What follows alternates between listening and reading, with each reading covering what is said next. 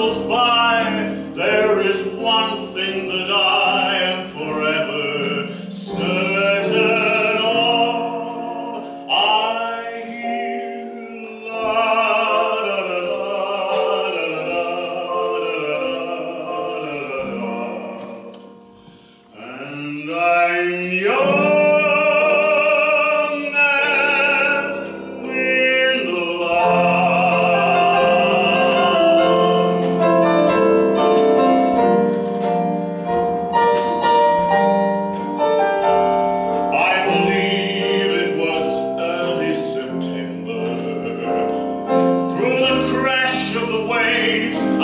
Yeah.